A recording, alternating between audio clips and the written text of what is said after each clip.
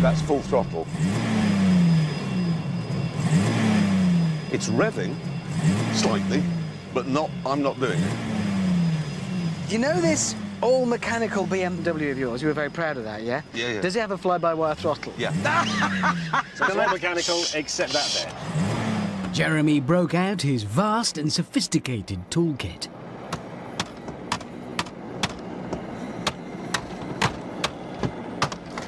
What else is electrical in here? Not the exhaust manifold. Yes, it is.